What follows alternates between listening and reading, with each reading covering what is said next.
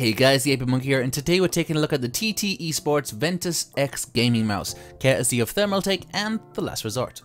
Priced at £36, $50 and 55 euros from online markets such as Amazon, the question is how does a mouse at this price stack up against what else is out there? So starting with the box we find that like other mice on the market, the Ventus X comes with an open flap design with a window on the front to allow you to see the mouse and get a sense of the feel in your hand. This is great as it allows you to make sure it's a comfortable fit and right for you.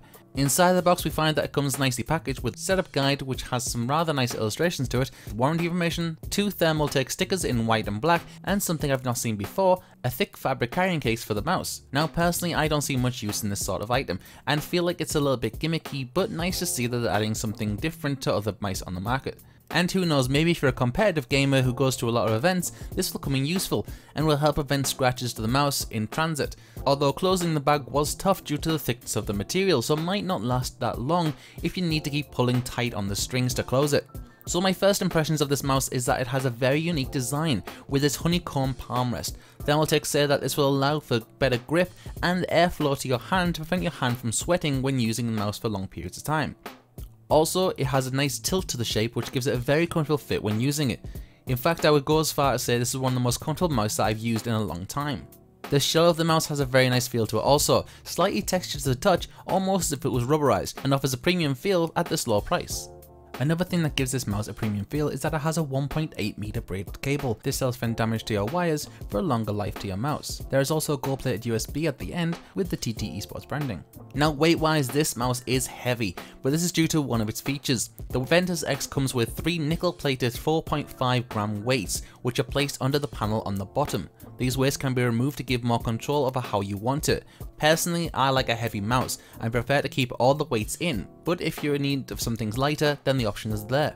Also on the bottom we have a 5700 DPI laser sensor, which is perfect for gaming, along with three Teflon pads for smooth movement across surfaces. The mouse does have some illumination to it in the form of red LEDs behind the logo under the honeycomb design, which will pulse over time as well as in the scroll wheel which will flash when changing DPI of the mouse to denote which DPI level you're on, which is a nice feature but nothing to be overly impressed by. It also comes with 6 programmable buttons which include left and right click, 2 thumb buttons which for me felt like they would have been better if they were placed slightly further forward as it requires a lot of bending of the thumb to hit the back button and causes a lot of strain over long periods of use, there is also a middle mouse button which has a rubber grip for better control, and something I'm not a fan of which is a single DPI button. Now personally I find these to be limiting when in need of quickly switching DPI for whatever reason, as it forces you to cycle through several DPI states to get to the one that you're in need of, rather than using a DPI up and down button which allows for a lot more control. Now all these buttons can be controlled through the mouse software which can be downloaded from the TT Esports website.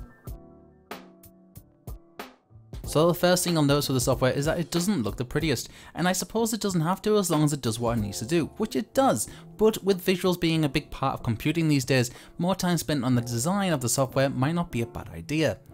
The software allows 5 different profiles which can be changed by setting a mouse button or by linking it to a program to change it automatically when the program or game is opened. There is also the options for normal and battle mode, with battle mode changing the light pulse frequency based on the click speed of the mouse.